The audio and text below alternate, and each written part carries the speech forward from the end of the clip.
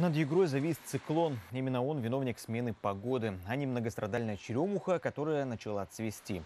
Только югорчане начали привыкать к теплу, солнечная погода стояла полторы недели. А в округе, в округе резко похолодало. Сегодня ночью обещают снижение температуры воздуха до плюс 4 градусов. Циклон будет диктовать свои условия до вечера субботы. Потом он передвинется на другие регионы. А у нас опять произойдет резкая смена погоды. На этот раз будет потепление. Есть надежда, что воздух в конце недели прогреется до плюс 19. В понедельник в Югру прибудет антициклон. Он тоже принесет дожди, но кратковременные и с длительными прояснениями. В целом, говорят синоптики, должно быть тепло.